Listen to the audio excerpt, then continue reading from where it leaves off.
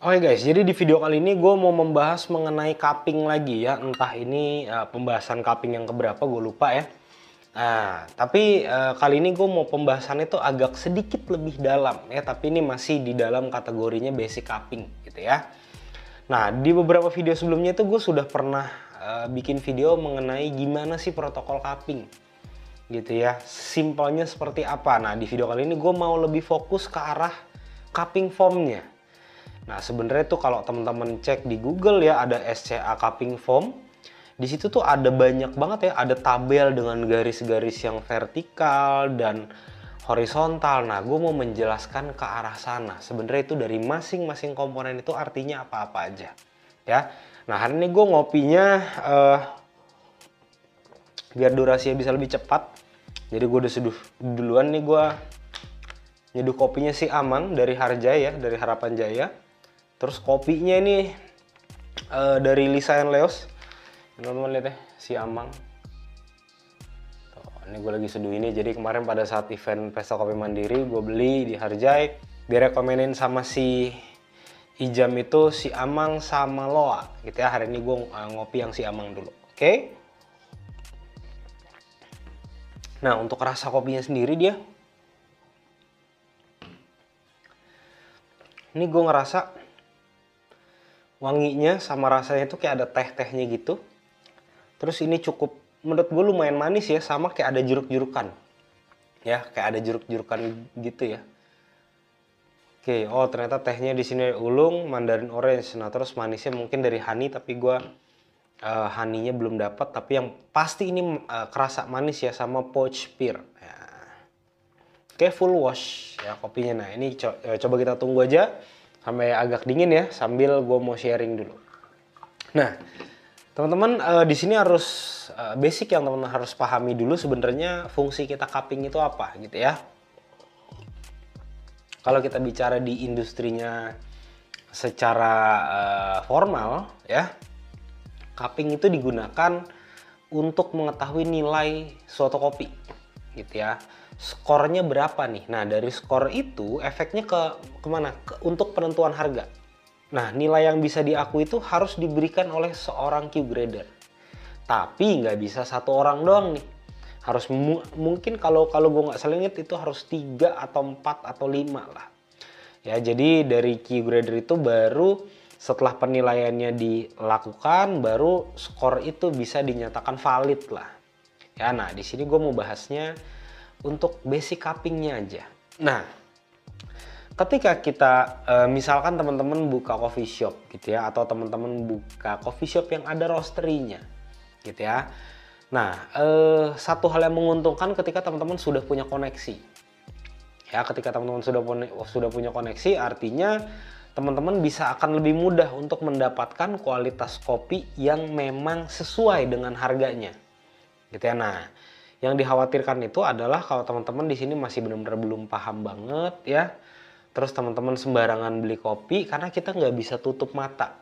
Ya masih banyak banget eh, penjual nakal di luar sana yang ngaku-ngakuin itu kopi saya grade-nya itu specialty. Gitu ya. Sedangkan kalau kalau kita tahu ya eh, kategori kopi yang bisa masuk ke dalam specialty itu harus minimal 80 gitu. Nah ini gue kasih lihat gambarnya maksudnya seperti apa ya. Nah skor 80 itu didapatkan dari setelah kita mengisi 1, 2, 3, 4, 5 sampai 10 itu ya skornya. Nah di total di paling kanan atas itu yang ada tulisan total skor itu harus 80. Nah artinya di situ tuh cukup cukup sulit juga tuh. Kenapa cukup sulit? Karena ketika kita bicara specialty memang standarnya itu cukup tinggi Nah, sekarang kita coba lihat ke bagian yang quality scale ya. Nah, di situ ada good, very good, excellent dan outstanding. Nah, di situ ketika kita mau bicara uh, grade-nya itu specialty, skor di bawah 7 ya, berarti kan 6 dari uh, dari 6 sampai 6,75 itu kalau dilihat masih good. Nah, sebenarnya itu tuh tidak kalau kita artikan good itu kan baik. Ya tapi sebenarnya baiknya itu tidak sebaik yang kita pikirkan lah ibaratnya. Ya, jadi bisa dikatakan ketika kita dapat skor atau nulis skor di bawah 7 itu biasanya flavornya itu sudah bad. Contoh mungkin udah ada smoky, terus ada rubber gitu ya, terus mungkin vegetal doang. Nah, itu biasanya skornya akan drop banget tuh. Nah, dari situ artinya teman-teman harusnya sudah ketika ya, ketika teman-teman pengen untuk uh, belajar isi cupping form ini, nah itu teman-teman sebenarnya harus agak berhati-hati memberikan skor di bawah 7. Ya, tapi itu nggak akan untuk gimana cara skornya mungkin gue akan bikin di video selanjutnya gitu ya. Nah, yang gue mau tekankan di sini tuh sebenarnya tuh yang poin 1 sampai 10 itu artinya apa-apa aja sih gitu ya. Nah, jadi pertama itu ada fragrance atau aroma. Nah, fragrance itu adalah bau kering. Ya, jadi bau kering yang mana ketika biji kopi itu sudah digiling, ya, biji kopi itu sudah digiling, baunya kita hirup itu kita sebutnya fragrance. Ya, nah fragrance itu biasanya intensitasnya itu jauh lebih tinggi lah karena dia masih kering belum tercampur air. Nah, tapi pada saat cupping teman-teman ini harus ingat nih. Teman-teman itu harus fokusnya itu ke kualitas, bukan intensitas. Karena kualitas dan intensitas itu tidak ada hubungannya. Ya, segala sesuatu yang intensitasnya tinggi belum tentu kualitasnya baik. Sebaliknya, segala sesuatu yang intensitasnya rendah belum tentu kualitasnya juga juga rendah. Jadi teman-teman fokus ke arah kualitasnya dulu aja. Ya, ketika kualitasnya bagus didukung dengan intensitas yang tinggi, itu sudah pasti skornya akan semakin baik. Nah, jadi teman-teman di sini lebih fokusnya ke kualitasnya dulu aja. Nah, maksudnya apa? Ketika teman-teman melihat flavor wheel, ya, itu teman-teman jangan melihatnya secara general. Contoh, kalau teman-teman lihat flavor wheel, teman-teman di situ akan menemukan yang namanya smoke atau smoky. Ya. Nah, smoky itu kalau kita bicara secara general, bisa juga kualitasnya itu bagus. Kalau kalau smoky itu muncul di mungkin di steak, ya teman-teman uh, makan smoke beef, smoke ham, ya itu sudah pasti harus ada smoke-nya atau nasi goreng, ya Nah, tapi di sini yang yang uh, ditekankan itu adalah dari kualitas yang akan kita dapatkan pada saat kita evaluasi kopi aja. Nah, itu pertama fragrance. Fragrance itu gampangnya bau kering. Yang kedua aroma. Aroma itu adalah bau basah. Bau basah yang mana ketika bubuk kopi terus kita tuang sama air panas, uap yang kita hirup itu itu kita sebutnya aroma. Bau basah. Nah, secara intensitas biasanya si aroma ini jauh atau agak lebih rendah dibandingkan dengan fragrance karena dia sudah tercampur sama air. Tapi tidak menutup kemungkinan juga aroma itu intensitasnya sama dengan fragrance. Gitu ya, tapi tetap teman-teman harus fokus ke kualitasnya dulu aja. Oke? Nah, terus yang berikutnya flavor. Nah, flavor ini kita sudah masuk ke step kedua itu kita mau cicipin. Ya, kita sudah mulai masuk ke tahap yang namanya kita cicipin kopinya, ya. Nah, flavor itu ya rasa apa aja yang teman-teman dapatkan ketika teman-teman cobain kopinya. Nah, tapi di sini teman-teman ketika cobain kopi ini ya, baik lagi ketika cupping sebisa mungkin nggak boleh diskusi. Nggak boleh ngobrol sama peserta cupping lain. Kenapa? Karena takutnya ke distract. Misalkan gue ngerasain, wah ini kopi ada e, rasanya misalkan ada rasa jeruk. Ya, misalkan lime gitu ya Nah, terus gue ngobrol sama teman sebelah gue, dia ngerasain, oh ini kayak nanas. Ya, nah terus biasanya ketika kita sudah saling bertukar pikiran, ya, gue cobain lagi akan fokus ke nanas. Sedangkan si nanas akan fokus ke lime. Ketika sudah seperti itu, itu penilaiannya pasti akan acak-acakan. Jadi ketika cupping, sebisa mungkin harus tenang, nggak boleh ngobrol satu sama lain. Cupping itu intinya adalah yang penting yakin dulu aja. Apa yang pertama kali kita cicipin asosiasi yang muncul di otak apa langsung tulis. Gitu ya. Nah, terus yang berikutnya itu aftertaste. Ya aftertaste ini fokusnya kedua aja ya. Pertama itu pleasant atau unpleasant atau aftertaste itu nyaman atau enggak. Ya simpelnya gini gimana cara bedakan nyaman atau enggak ketika kita habis minum kopi? Ya kita habis minum kopinya terus kita mau bilas dengan air putih ya atau kita mau cepet-cepet ilangin rasa di dalam mulut itu sudah pasti aftertaste itu unpleasant atau tidak nyaman. Itu sudah pasti akan menurunkan skor ya. Nah, terus yang berikutnya yang harus kita perhatikan dari aftertaste itu adalah durasinya. short, medium atau long. Gitu ya, biasanya kalau misalnya kopi aftertaste-nya itu long, panjang, udah gitu pleasant, nyaman banget, enak di mulut itu skornya bisa semakin tinggi. Gitu ya. Aftertaste jadi ingat pleasant, unpleasant terus cari short, medium atau long gitu ya. Oke, berikutnya itu acidity. Nah, acidity ini fokusnya eh, teman-teman itu cari dua. Kopi ini acid atau sour. Gitu ya. Nah, gimana cara membedakannya? Yang paling simple itu adalah kalau misalkan acid itu sudah pasti ada manisnya. Sedangkan kalau misalkan sour itu sudah pasti tidak ada manisnya. Jadi cenderung asam dan asam itu tajam. Karena ketika uh, asamnya itu berubah jadi masam atau sour itu sudah pasti akan menurunkan atau nutupin nih ya nutupin layer-layer rasa yang lain nah sedangkan kalau masuk kategorinya acid itu biasanya dia lebih bright ya lebih refreshing lebih lebih menyegarkan lah gitu ya selanjutnya yang nilai yang kita nilai berikutnya adalah yang nomor 5 itu adalah body ya. Nah body ini penilaiannya cukup sulit ya. Memang uh, bisa gue akui untuk penilaian body itu lumayan sulit. Kenapa? Karena buat yang baru pertama kali cupping itu akan sulit untuk menentukan berapa skor yang pantas gitu ya. Karena balik lagi body yang rendah itu nggak bisa kita kasih skor yang rendah juga. Misalkan bodinya light ya terus ada kopi yang lain bodinya bold heavy. Nah ini kita nggak nggak bisa oh body yang light skornya rendah. Body yang tebal skornya tinggi enggak. Ya jadi kita fokusnya itu justru ke tekstur ke tactile-nya ya apakah dia tea terus apakah dia creamy apakah dia juicy apakah dia coating apakah dia round. Ya lebih ke arah sana. Nah itu memang hmm, untuk sampai teman-teman bisa belajarin uh, ke tactile itu uh, lumayan susah. Karena gue sampai sekarang pun masih agak ngeraba-raba untuk masalah tekstur itu ya. Karena baik lagi ketika teksturnya itu oke okay, di mulut nggak ada masalah ya terus sensasinya teman-teman nggak merasakan dia kayak dry atau apa itu menurut gue masih aman-aman aja sih. Ya jadi biasanya kalau untuk body nih range gue itu dari tujuh setengah eh dari 7 sampai 7,75 atau 8 lah biasanya Ya tapi untuk scoring nanti akan gue bahas di video selanjutnya. Oke.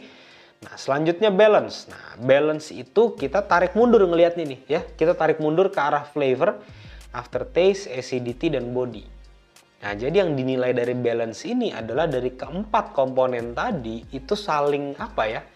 Bisa dikatakan saling klop nggak atau harmonis nggak atau saling melengkapi nggak? Ya, jadi empat komponen itu teman-teman cek ada yang masalah nggak atau ada yang problem nggak? Kalau nggak ada problem, kalau keempat-empatnya itu bagus, balance-nya langsung isi 8 aja. Artinya kopi ini well well balance ya, eh, nggak ada rasa yang dominan banget, tapi semuanya tuh saling melengkapi layer-layernya. Oke, okay. selanjutnya uniformity. Yang ketujuh ya.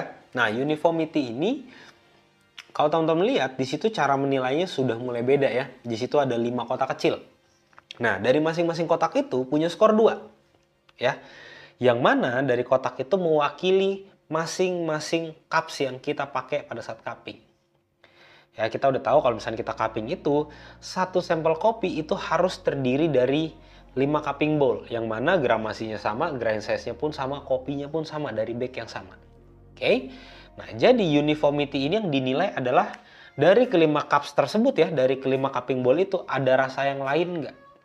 Tapi rasa yang lainnya itu masih di dalam kategori flavor wheel atau di dalam rasa kopi lah. Contoh ya, misalkan cups pertama, kedua, ketiga, keempat itu rasanya coklat, orange, sama anggur misalkan. Nah tiba-tiba teman-teman cobain cups kelima itu rasanya jadi coklat, orange, nanas wah ternyata ada yang beda nih. Satu itu berarti uniformity-nya kena. Nah biasanya uniformity ini buat teman-teman yang baru pertama kali cupping itu suka dicari-cari nih ya. Jadi jangan suka mencari-cari kesalahan ya. Itu tidak boleh.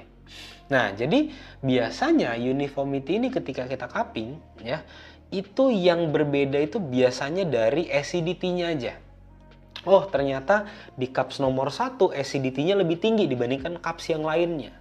Itu hal yang wajar, bisa jadi karena pada saat sudah diseduh, suhu dari yang cupping bowl nomor satu ini sudah turun lebih dahulu. Jadi biasanya acidnya akan lebih tinggi. Nah di sini yang difokuskan itu adalah ke flavornya, bukan ke acidity-nya doang, tapi ke flavor rasanya, layer-layer itu sama semua atau enggak.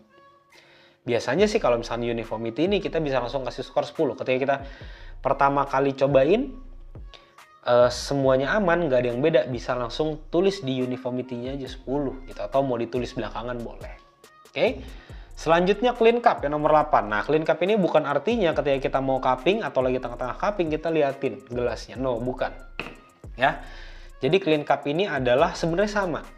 Kita melihat apakah ada yang beda dari kelima cups yang lain kita evaluasi. Tapi clean cup ini yang kita evaluasi itu adalah rasanya itu dari luar flavor wheel atau dari bahan kimia. Contoh misalkan tiba-tiba di cups nomor 5 ya ada rasa bensol nih ya. Itu bisa terjadi, siapa tahu ya karena kan gini ya. Kopi itu dari green bean sampai ke cangkir yang kita minum ini perjalanannya itu benar-benar panjang tuh. Bisa jadi nih mamang yang nganter green bean habis balapan semalam ya ditaruh di karung green bean-nya pas diangkat ke motor atau ke mobil ada ceceran bensol atau ada minyak tanah atau ada thinner itu bisa aja terjadi tapi balik lagi, biasanya petani kopi yang memang dia sudah tahu kualitas kopinya itu baik dengan harga jual yang cukup tinggi, biasanya petani itu akan pakai satu eh, plastik lagi itu namanya grain pro atau mau pakai plastik yang biasa juga mungkin ada aja ya. Nah biasanya tuh kalau petani-petani yang memang sudah jual kopinya itu hmm, kualitasnya baik dia akan pakai grain pro. Memang eh, grain pro itu berbayar ya, tapi dibandingkan dengan mempertahankan kualitas kopinya itu akan jauh lebih bagus menurut gue kalau misalkan petani itu sudah pakai grain pro. Ya, jadi ingat uniformity itu rasa yang beda tapi masih dalam rasa kopi atau dari flavor wheel. Tapi kalau clean cup itu rasa yang beda tapi rasanya dari bahan kimia. Simpelnya itu. Oke, cara penilaiannya pun sama seperti uniformity. Nah, nomor 9 itu sweetness. Nah, sweetness itu bukan artinya kopinya manis atau enggak ya, bukan. Tapi biasanya penilaian sweetness ini berbanding lurus dengan penilaian clean cup. Jadi maksudnya apa? Sweetness ini yang dinilai adalah kopinya masih bisa ditelan nggak? Nah maka dari itu yang gue bilang dia berbanding lurus dengan penilaian clean cup. Karena kalau misalnya clean cupnya tadi di nomor 5 kena ya pas minum, wah rasa racing nih, rasa bensol. Nah itu nggak mungkin bisa tuh. Seaus-ausnya orang pasti ketika minum ada rasa kimia atau ada bau yang aneh pasti langsung di spit. Pasti langsung akan dibuang. Biasanya kalau clean cupnya kena, sweetnessnya pun kena gitu ya. Nah yang terakhir itu yang ke-10 adalah overall. Overall ini adalah satu-satunya penilaian yang kita boleh nilai sesuai dengan selera, selera pribadi kita. Jadi dari tadi dari poin nomor 1 sampai 9 teman-teman nggak boleh menilai sesuai sama selera nggak boleh. Ya. Nah jadi maksudnya adalah ketika teman-teman misalkan teman-teman nggak suka yang namanya uh, melon misalkan ya ketika cobain kopi ih ada rasa melon langsung teman-teman di flavor teman-teman kasih drop. Nggak boleh. Gitu ya. Nah jadi penilaian ini overall itu masih diizinkan. Suka nggak sama kopinya? Atau nggak suka nggak sama kopinya? Silahkan dinilai aja. Nah ketika sudah dapat dari masing-masing itu skornya dijumlahin ditulislah yang sebelah kanan yang total scores. Itu baru dapat uh, berapa nih skornya. Nah, yang di bagian defect atau subtract itu itu biasanya dipakai ketika seorang Q grader sudah men, eh, lagi menilai kopinya nih. Karena di situ harus bisa nilai oh ini ada defectnya apa-apa aja. Gitu. Tapi kalau basic cupping cukup 10 itu aja yang tadi. Gitu ya teman-teman. Gimana? Kelihatannya susah atau enggak? Nah, kita cobain dulu ya. Nanti di akhir akan gue coba jelaskan. Kesimpulannya apa? Sekarang kita cobain kopi si Amang dari Harjai. Hmm. Ini yang malah dominan kayak si Mandarin Orange-nya. Terus di belakang gue dapetin kayak ulungnya teh-teh gitu ya. Sama manisnya ini entah kenapa gue bukan ngerasanya kayak honey lebih ke arah kayak karamel sih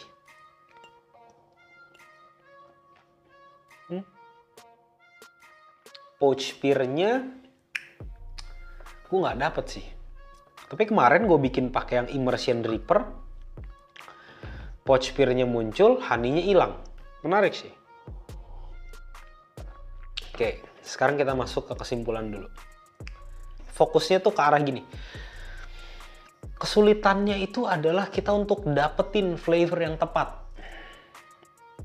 Ya kan di flavor wheel banyak ya nah sulit tuh. Betul.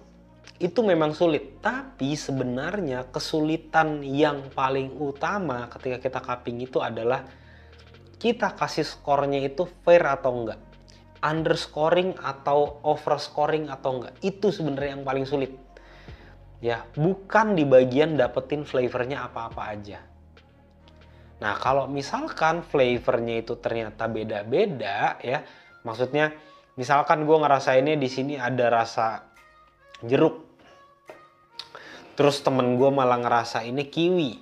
Tapi skornya sama nih.